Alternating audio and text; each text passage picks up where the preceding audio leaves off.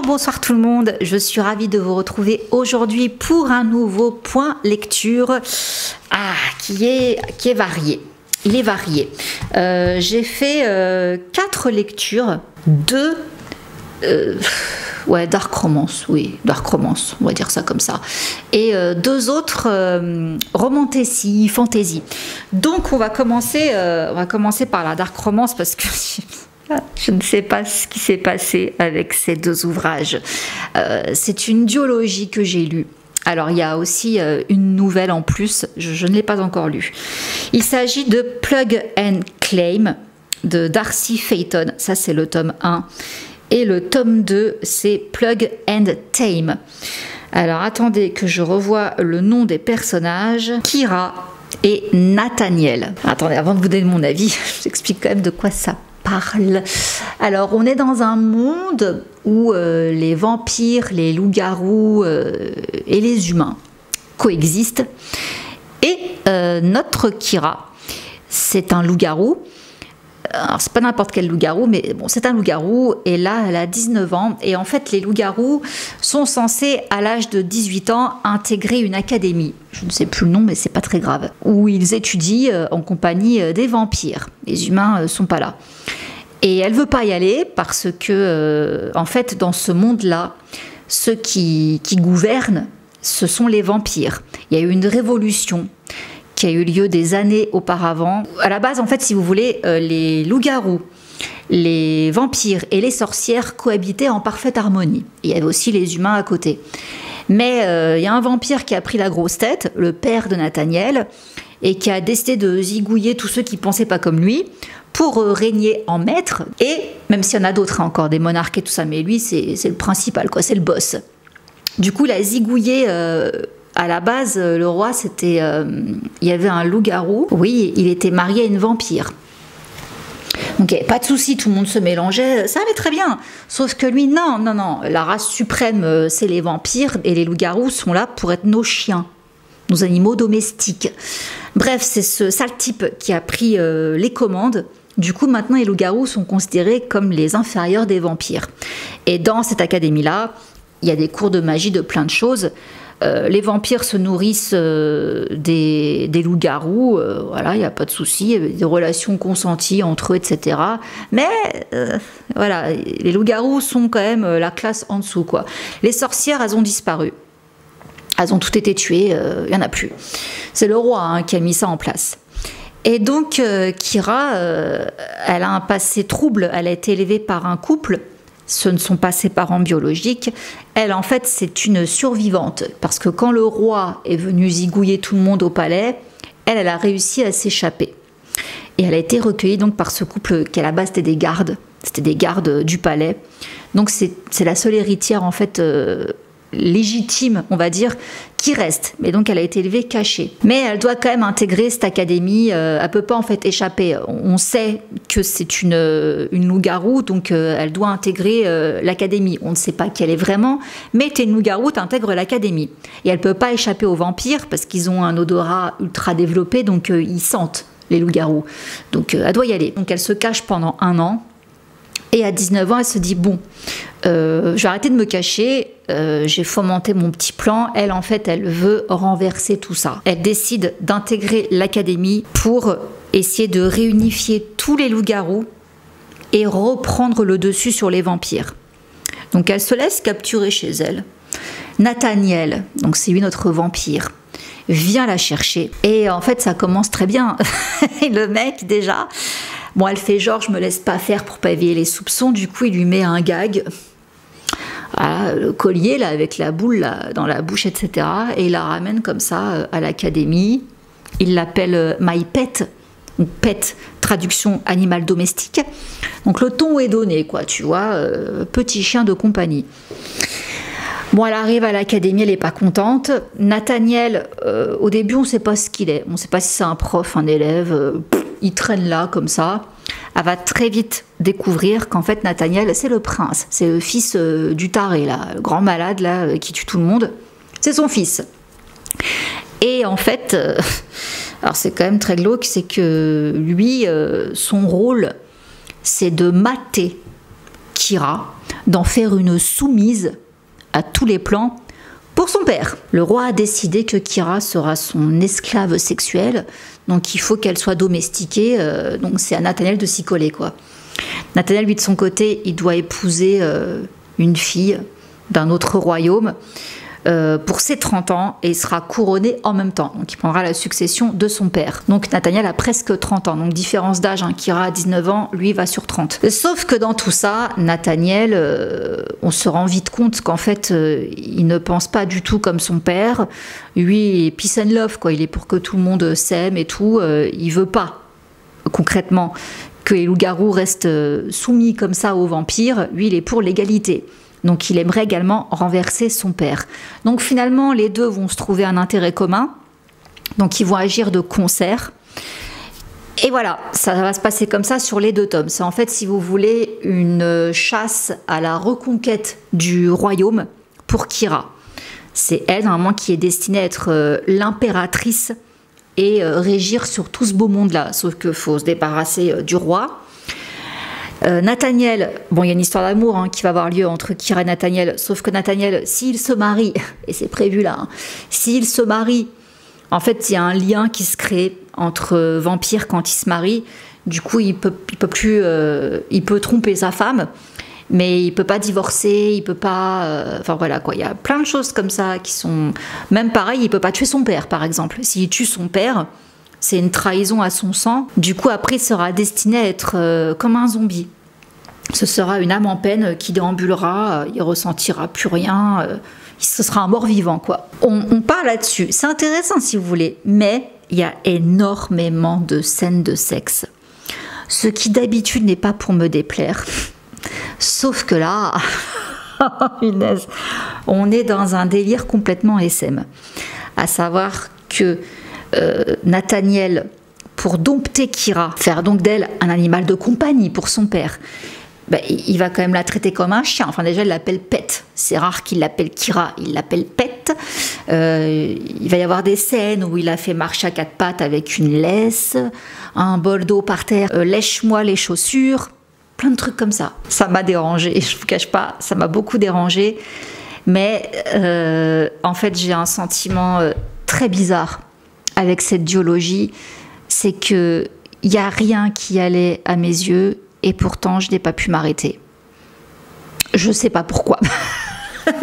Parce que concrètement, ça me dérangeait vraiment qu'il la traite comme ça. Mais il y a un moment dans le tome 1 où on voit euh, le passé de Kira, comment euh, finalement elle a été secourue, elle s'est pas échappée finalement comme ça. Il va y avoir des comebacks, on va voir ce qui s'est passé, et Nathaniel, déjà qui était petit à l'époque, a un rôle dans tout ça.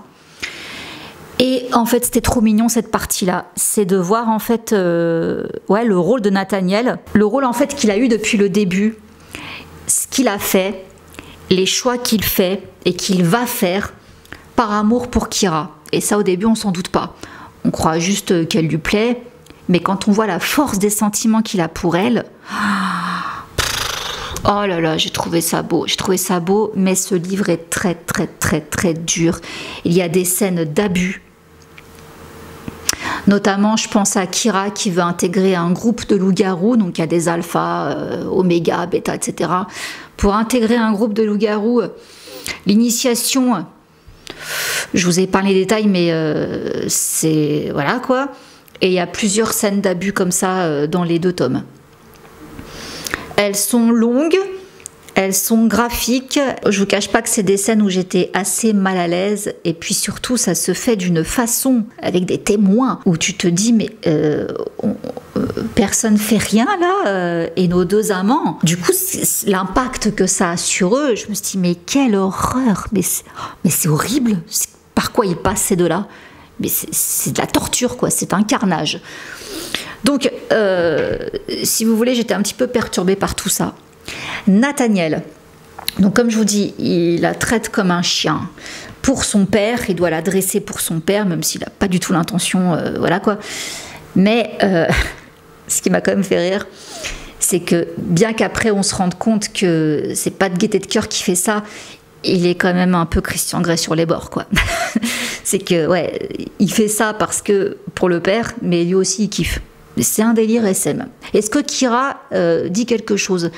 Non, parce qu'elle a une part de soumise en elle. En fait, euh, à chaque fois, on, nous rappelle un petit peu quand même, l'autrice nous rappelle qu'il y a des choses qui sont propres au caractère euh, de leur vraie nature. Un vampire est dominant. Un loup-garou a donc une part de loup. Et même si un loup c'est rebelle et que ça, que ça se rebelle, tout ce qu'on veut, il y a quand même quelque part un animal qui cherche à être dompté dans tout ça. D'où la justification du rapport SM entre Nathaniel et Kira. C'est très bizarre. Je vous dis, j'ai lu les deux tomes parce que, parce que j'adore Nathaniel. Je le trouve trop. Je sais pas, il y a un truc chez lui, il est tordu, il est malsain. Il, il est. Ouais mais en même temps, quand je dis malsain, c'est dans les rapports euh, intimes qu'ils ont, hein, vu que c'est un dominant. Mais il y a des trucs, des fois, où il est trop chou. Il est trop chou.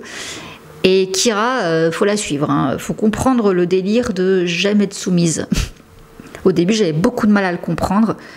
Mais bon, si finalement c'est dans sa caractéristique, on va dire, elle aime ça, why not? Mais je dirais que c'est vraiment pour un public euh, très très très très très averti parce que il y a beaucoup de dégradation, beaucoup de soumission. Voilà, euh, des choses où euh, la fille, elle est vraiment reléguée à plus bas de terre. Quoi. Même si Nathaniel l'aime et que voilà, il y a quand même des scènes où je me suis dit, ouais, quand même, ça, ça va loin. quoi. bref. Ça a été une lecture, je vous dis, étrange. C'est que je me suis dit, j'aime pas, j'aime pas, j'aime pas. Et pourtant, j'ai continué, j'ai continué, j'ai continué, et comme ça, les deux tomes, et je lirai aussi la nouvelle. Alors par contre, je trouve que le dénouement dans le tome 2 va un peu vite, parce que vu tous les enjeux qu'il y a, je pensais vraiment qu'il y aurait du coup un troisième tome. Non, c'est torché dans le deuxième tome. Bon. Ok, mais je vous dis, malgré tous les enjeux qu'il y a avec la royauté, machin, nan, pour moi, c'est pas ce qui est vraiment au premier plan. Alors oui, disons que si vous voulez, tout l'enjeu est derrière. Du coup, dans les rapports entre nos deux personnages, c'est ressenti, mais en termes d'action, il se passe pas des masses de trucs, quoi. C'est surtout vers la fin. Mais comme je vous dis, voilà, je ne sais pas en fait si je vous le recommande. voilà, je, je n'ai pas détesté, je n'ai pas non plus euh, aimé, je, suis partagée. J'ai quand même voulu lire. J'aime beaucoup Nathaniel. Et voilà, c'est tout. Donc, euh, pour les curieux, ceux qui aiment bien le délire SM, mais attention, il y a des scènes très très dérangeantes. Bref, voilà, à vos risques et périls, hein. c'est tout ce que j'ai à dire. Ensuite, donc voilà, c'était pour les tomes 1 et 2. J'ai lu La dernière couronne de Lali Lombard. Eulalie Lombard. Je vous ai déjà parlé d'elle avec euh, le roman euh, Pour l'amour d'un Highlander que j'adore. Ah, là, c'est un autre registre. Là, c'est dans la fantaisie qu'on la retrouve. Et nos personnages, notre héroïne, elle s'appelle Nisalia. Elle est princesse, on va dire. Elle est destinée à régner. Elle a un promis, un fiancé, euh, qui est prince également. Donc, ils sont destinés à devenir roi et reine. Mais il y a l'Empire qui menace de les envahir. Donc il y a la guerre avec euh, l'Empire depuis des années. Et bah là, il est temps de combattre. Alors Nisalia, c'est une badass de chez badass. Si vous aimez les héroïnes badass, vous serez servi. Elle, elle veut euh, aller au front, quoi. C'est pas de la vie de son père, etc. Mais bon, elle y va. Elle n'est pas avec le prince, hein. les troupes sont dispersées. Euh, pendant la bataille, elle se fait capturer par l'ennemi et elle se retrouve donc au palais de l'Empire. Donc il y a la famille euh, royale hein, sur place et elle fait euh, la rencontre du fameux prince de sang, Maek. C'est le prince de sang. C'est celui qui fait le plus flipper. C'est des faées, hein. voilà, pas précisé, ce sont des faées. Euh, il fait flipper le gars. lui, généralement, dès qu'il arrive dans la bataille, c'est genre à la fin pour zigouiller tout ce qui reste. En fait, le mec, juste par la force de la pensée, il peut tuer, faire souffrir, etc. Elle, elle a un pouvoir, c'est l'eau. Elle arrive à, avoir une influence sur l'eau et à en faire une arme. Donc non seulement c'est une guerrière, mais en plus elle a des pouvoirs. Et bah, du coup, elle se retrouve capturée, captive donc euh, de ce prince qui décide de la garder avec lui. Donc il essaie de le soutirer des informations. Euh, où sont les autres, quoi Parce nous, on va envahir tout le monde, quoi. Donc euh, c'est inévitable. Ne fais pas ta tête de, mule. Dis-nous où ils sont. Ça ira plus vite. Euh, on tuera moins de gens si tu veux. Et voilà, quoi. Ah non, elle, refuse de, céder. Elle sait pas encore si son prince promis là, il est encore vivant, ni son père ou quoi. Donc non, non, jamais on ne se soumettra. D'accord? Du coup, elle reste là au château et euh, elle va faire la rencontre euh, d'un serviteur dans ce château qui en fait lui fait partie de la rébellion. Donc elle décide de devenir... Euh, bah, de toute façon elle n'a pas le choix. Elle se dit je suis là, bah, il est hors de question que je plie, donc je vais essayer de voir un petit peu comment ça se passe et essayer de m'échapper et de transmettre les infos à mon peuple. Donc elle fait l'espionne et elle rencontre donc ce... c'est un serveur je crois, enfin, je sais plus. Et elle va s'allier avec lui, donc il fait partie de la rébellion pour essayer eh ben, de, de, faire quelque chose, quoi, sortir de, ce bourbier. Alors, c'est un Enemies to Lovers entre Nisalia et Maek. Et franchement, c'est un Enemies to Lovers très, très, très slow burn. Tellement slow burn que je me suis dit à un moment donné, mais en fait, euh, c'est pas lui Love Interest. Bon, le prince, on le voit jamais, hein, mais bon, à la base, en tout cas, c'est avec le prince, elle l'aime en plus, le prince, hein, elle l'aime. Ils sont pas ensemble réellement encore. Leurs parents sont sympas. Ils leur mettent pas trop la pression. Vous vous mettrez vraiment ensemble quand vous serez mari et femme. En attendant, profitez. Donc le prince, il fait sa petite vie, elle aussi, mais ils sont amis depuis l'enfance, quoi. Donc ils s'aiment quand même, mais ils ne sont pas officiellement en couple. Donc ils ont le droit de coucher avec qui ils veulent, quoi. C'est assez moderne euh, comme façon de penser pour le coup. Moi, je me suis dit, bah, le Love Interest, il est où alors? Parce que ça n'avançait tellement pas avec le prince de sang. Il n'y avait aucun rapprochement, rien du tout. Que du coup, moi, je me suis plantée de Love Interest. En fait, j'ai cru que c'était avec euh, le rebelle. Et en fait, je me suis sentie dupée parce que j'avais vu une petite, euh, un réel en fait sur Instagram, petite vidéo de quelqu'un qui nous recommandait ce livre en nous montrant un passage spicy. Je me suis dit, oh, les Lombard qui fait du spicy. Généralement, c'est quand même soft ce qu'elle fait. En plus, en fantaisie, allez, j'y vais quoi. Je me suis sortie dupée parce que cette scène-là, que la fille euh, dans son réel ami, c'est à la fin du livre. Et c'est pas vraiment une scène, enfin oui, c'est une scène spicy, disons qu'elle avait mis un petit bout de dialogue. Ouh Bah non, en fait, ça reste bien du Eulalie Lombard, c'est très soft. Euh, alors pour ceux qui aiment pas les scènes de Spice, c'est parfait. Mais la scène, euh, est à la fin, à la toute fin. Donc c'est-à-dire que tout le long du livre, je me disais, mais il va se passer quand quelque chose, quoi, même un bisou. Très frustrant. Par contre, ça finit sur un cliffhanger. Ouh, d'accord. Donc euh, j'ai hâte de lire la suite. Mais on reste vraiment dans l'esprit Eulalie Lombard, à savoir que le Spice n'est pas très présent. J'étais un peu déçue, mais bon. Voilà, il n'empêche que même si je sais que Eulalie Lombard, elle n'est pas très euh, comment dire, ouais, c'est pas vraiment des livres spicy qu'elle écrit. Il y a toujours à un moment donné une ou deux scènes de spice, mais c'est pas des trucs euh, très euh, décrits, etc. Vous voyez ce que je veux dire? Bon, je pensais qu'elle se serait plus lâchée dans ce registre-là. Non, c'est pas grave. La plume est quand même très belle. L'histoire est très intéressante. On a envie de savoir euh, ce qui va se passer, même si là, pour le coup, ça prend bien son temps.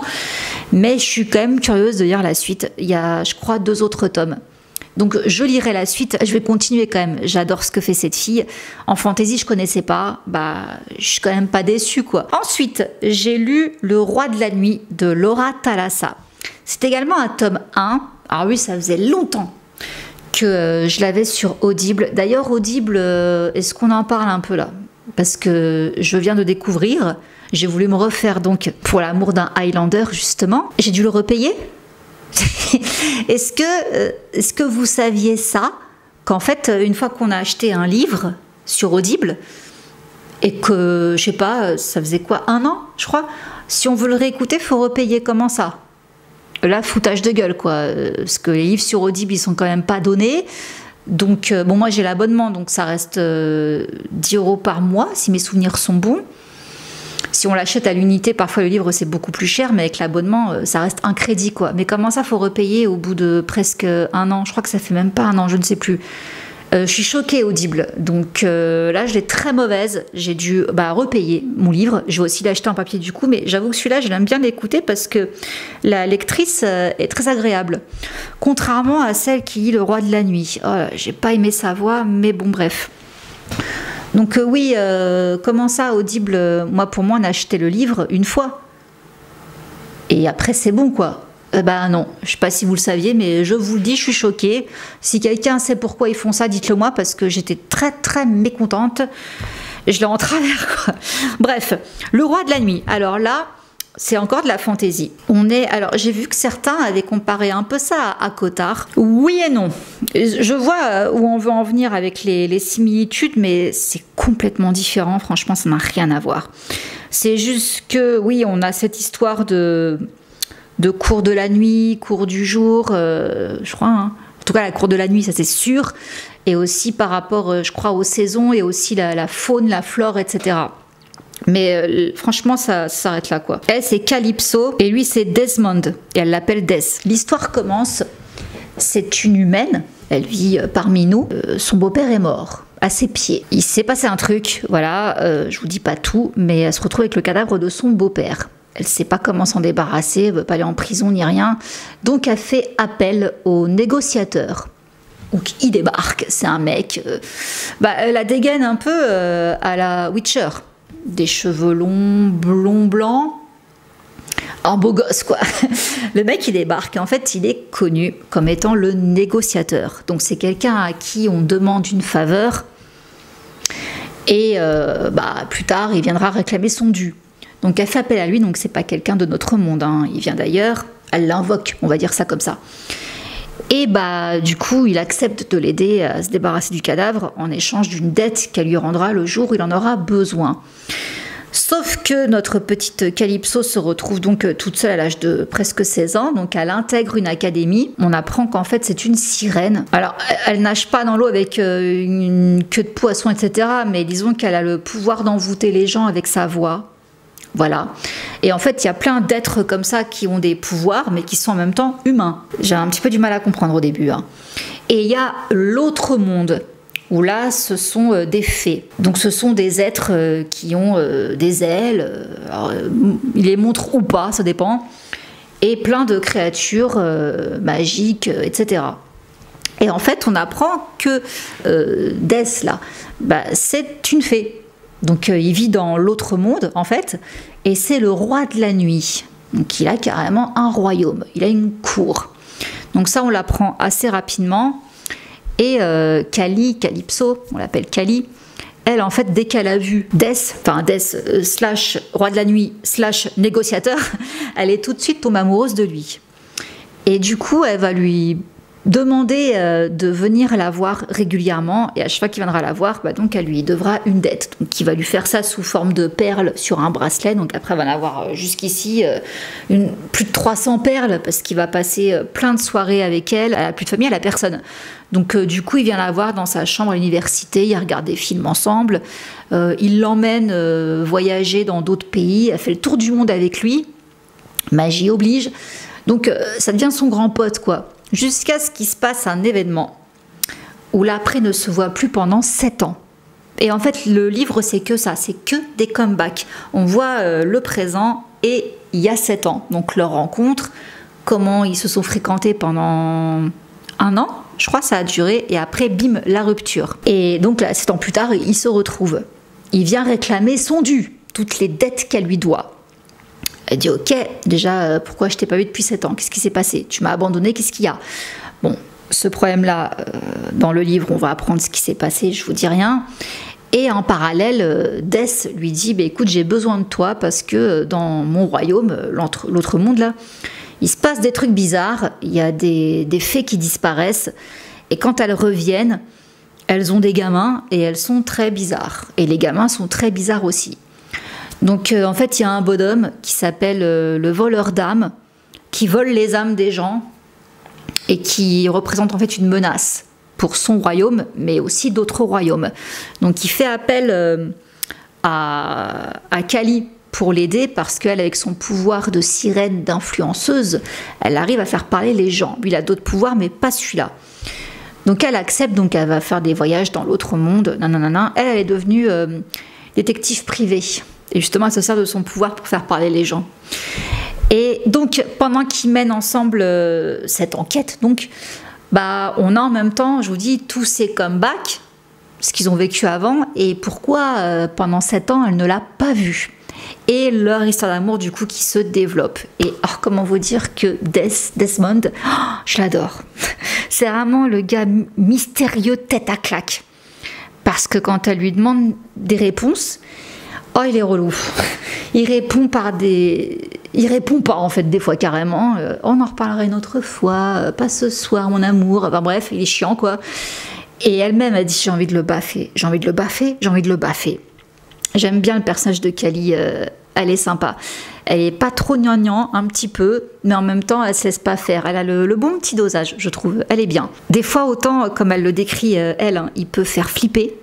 C'est une fée, le gars. En plus, le roi de la nuit, donc il blague pas. Il est très sanguinaire, c'est un combattant, quoi. En plus, il n'a pas commencé, euh, il n'est pas né roi. À la base, c'était un être. Euh, bon, certes, c'était une fée, mais il vient de loin, le gars, quoi. Il a un passé un peu de voyou. On va dire ça comme ça. Donc, euh, bref, bad boys. Mais des fois, il, est tellement mignon, les trucs qu'il lui dit, oh là là, c'est un book boyfriend, ce gars-là. J'ai adoré. Et là, du coup, à la fin du tome 1, il se passe un truc, euh, je vais pas vous spoiler, disons qu'elle ne va pas ressortir de tout ça pareil. Du coup, là, j'ai commencé le tome 2, donc on part... Euh, bah, en fait, il y a toujours l'intrigue qui se poursuit, hein, ce voleur d'âme, là, euh, qu'en plus, les enfants, quand ils parlent de lui, ils ont des comptines très chelous, ça fait flipper. Bref, il y a encore tout ce truc-là, où il est, la menace, etc et l'évolution de Kali avec ce qu'il y a de nouveau chez elle. Et on continue également à développer l'histoire d'amour entre elle et Death. Voilà, donc euh, j'ai envie de vous dire pour le premier tome, c'était très bien. Parce que merci mon Dieu, on n'a pas trop trop traîné non plus jusqu'à ce que les deux amants euh, se déclarent leur flamme, merci. Mais on sent que derrière, il y a euh, quand même un enjeu de fantaisie, quoi on voit quand même l'autre monde, j'ai bien aimé. Et oui, je comprends le parallèle avec Akotar, dans le sens où euh, bah, lui, c'est le roi de la nuit, donc la, cour de la nuit. Il y a différents mondes, différents royaumes. Mais euh, pour moi, ça s'arrête là.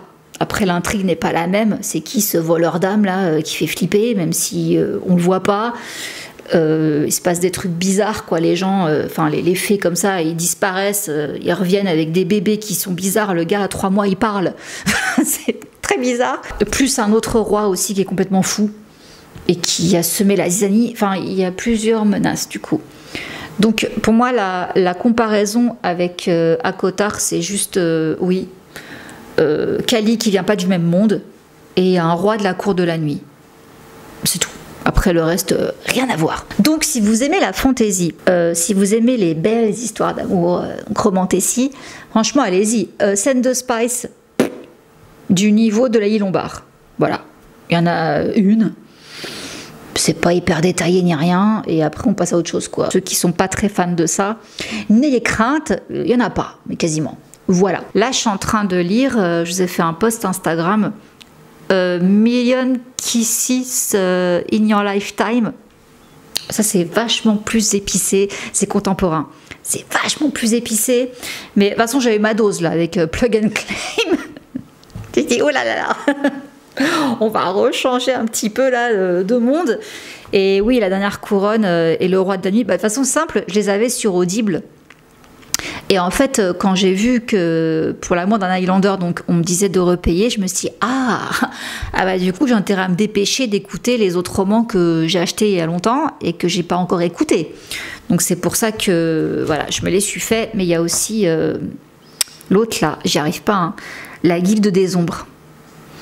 Je l'ai commencé il y a un an, hein, le tome 1, en audible.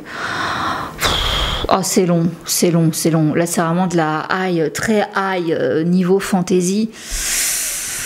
Hmm, c'est très très très très long. Donc, euh, bah, du coup, j'ai quand même un mètre parce que s'il faut que je repaye un livre que j'ai même pas lu en entier, je vais être très mécontente. Voilà. Donc, euh, voici mes lectures de une biologie discutable et en fantasy, en romantasy, début de saga Bah franchement, euh, très sympa. Très très sympa. Donc est-ce que j'ai préféré la dernière couronne ou le roi de la nuit? Bah il y a plus d'amour dans le roi de la nuit. Parce que je vous dis, hein, euh, la dernière couronne, c'est vraiment un enemies to lovers, très slow burn. Le roi de la nuit, c'est au final plus un friends to lovers. Donc, euh, ouais, peut-être une petite préférence quand même pour le roi de la nuit, je vous cache pas.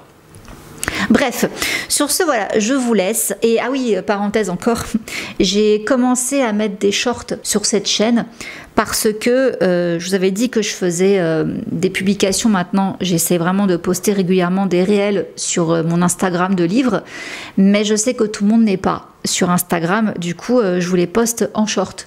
Donc généralement, je publie ça en fin de matinée, entre 11h et midi. Pour ceux que ça intéresse, euh, des fois c'est juste des petits trucs, euh, voilà. Mais parfois je vous fais aussi des compiles de recommandations de livres par thème. Voilà, donc n'hésitez pas à piocher dedans de temps en temps euh, si vous voulez avoir des recommandations rapides. C'est en short. Je vous fais plein de gros bisous et je vous dis à la semaine prochaine. bonne lecture, ciao